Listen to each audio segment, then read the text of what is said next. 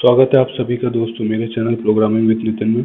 आज मैं इस वीडियो में बताने वाला हूँ कि मोबाइल फ़ोन में गूगल मीट का यूज़ करते हुए आप व्हाइट बोर्ड कैसे शेयर कर सकते हैं अपने पार्टिसिपेंट्स के साथ में। तो चलिए शुरू करते हैं ये ट्यूटोरियल उसके पहले आपको क्या करना है, आपको अपने मोबाइल में गूगल मीट की एप्लीकेशन और एक एप्लीकेशन इंस्टॉल करनी है, जिसका नाम है जैम बोर्ड मैं आपको दिखाता हूँ ये एप्लीकेशन आपको कैसे इंस्टॉल करनी है। गूगल मीट की एप्लीकेशन तो आप सब इंस्टॉल कर लेंगे। जैम बोर्ड की एप्लीकेशन को आप इस तरह से इंस्टॉल कर सकते हैं। ये जैम बोर्ड की एप्लीकेशन है, यहाँ से आप इसे इंस्टॉल कर सकते हैं। ये मेरे फ़ोन में पहले से ही इंस्टॉल है।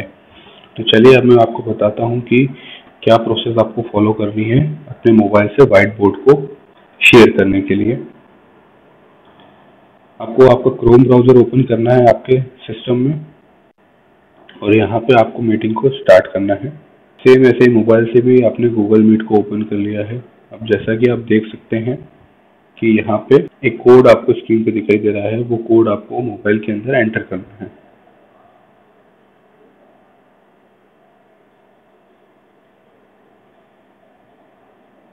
आपको ज्वाइन मीटिंग के ऊपर क्लिक करना है। और कंप्यूटर से भी ज्वाइन मीटिंग आपको करना है, ताकि जो पार्टिसिपेंट है वो आपकी मीटिंग में ज्वाइन हो सके। मोबाइल स्क्रीन पे आस्ट टू ज्वाइन का एक बटन दिखाई दे रहा है, आपको इसके ऊपर क्लिक करना है। यहाँ पे स्क्रीन पे देखिए, ये एडमिट करने का एक बॉक्स आ गया है, इसको आपको एडमिट करना है। यहाँ पे जो पार्टिसिपेंट है वो मीटिंग के अंदर ऐड हो गए हैं।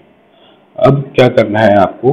आपको आपके मोबाइल डिवाइस से स्क्रीन को प्रेजेंट करना है तो यहाँ पे जो तीन डॉट दिए हुए हैं, इसके ऊपर आपको क्लिक करना है। तो ये इस तरह से पैनल ओपन होगा, यहाँ पे आपको प्रेजेंट स्क्रीन के ऊपर क्लिक करना है। अब देखिए यहाँ पे पूछ रहा है स्टार्ट प्रेजेंटिंग तो आपको स्टार्ट प्रेजेंटिंग के ऊपर क्लिक करना है।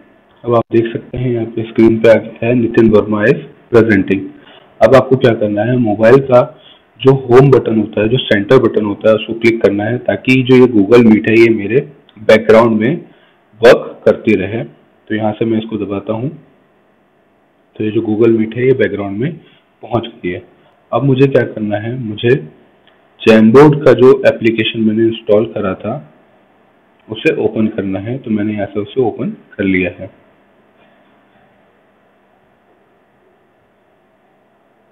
अब आपको यहाँ से अकाउंट सिलेक्ट कर लेना है। ये मैंने अकाउंट सिलेक्ट कर लिया है।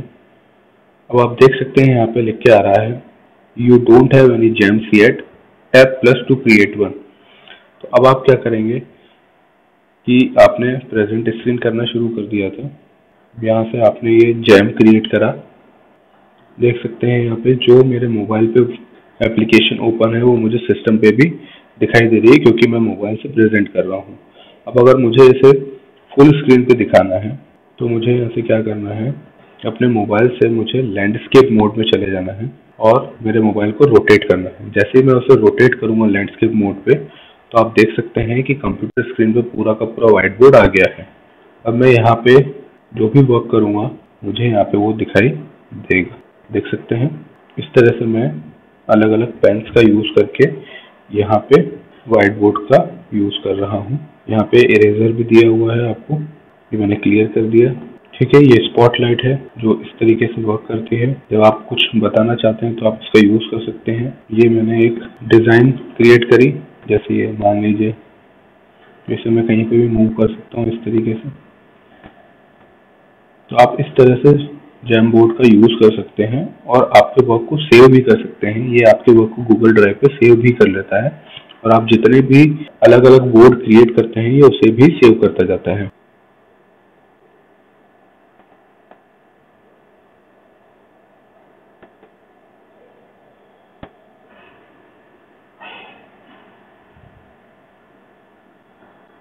ये देखिए।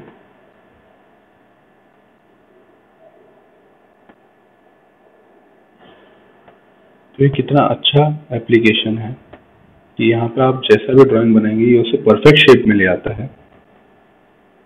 देखिए, बिल्कुल। तो आप देख सकते हैं, ये कितना अच्छा एप्लीकेशन है। और ये जो जैम बोर्ड है, ये मैथ टीचर के लिए काफ़ी अच्छा है, क्योंकि यहाँ पे शेप्स बनाना काफ़ी इजी है। और ये आपकी सारी चीज़ों को सेव भी करता जाता है। जैसा कि आप देख सकते हैं, यहाँ पे ये पूरा एक बोर्ड आपके पास है जो सेव होता जाता है। और यहाँ से प्लस आइकन से आप नया बोर्ड भी क्रिएट कर सकते हैं। तो ये एक छोटा सा डेमोन्स्ट्रेशन था ये बताने के लिए कि आप वाइट बोर्ड का यूज़ कैसे कर सकते हैं while using the Google Meet okay तो बहुत ही आसान तरीके से जैम बोर्ड का यूज़ करा है यहाँ पे। अपनी स्क्रीन को प्रेजेंट करके गूगल मीट के थ्रू और आप देख सकते हैं कि ये फुल स्क्रीन पे भी दिखाई दे रहा है अगर आप इसको लैंडस्केप मोड में यूज़ करेंगे। अगर आप इसको पोर्ट्रेट मोड में यूज़ करेंगे तो ये कुछ इस तरह से दिखाई देगा। अगर आप इसको लैंडस्केप मोड में यूज़ करेंगे तो ये कुछ इस तरीके से दिखाई देगा। तो आप जैसा इसको यूज़ करना चाहते हैं, आप यूज़ कर सकते हैं।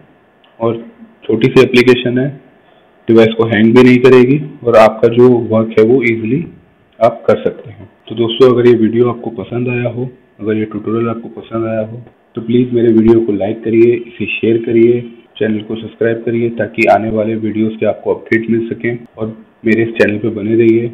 आप लोगों का धन्यवाद है ये वीडियो देखने के लिए। फिर मिलेंगे दोस्तों एक नए वीडियो एक नए ट्यूटोरियल के साथ में।